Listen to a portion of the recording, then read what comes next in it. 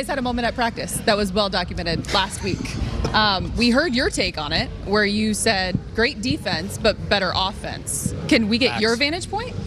What you thought about that, All right. In all seriousness, please? I looked at the film and he did step out of bounds, but I'm not. I'm not gonna go there.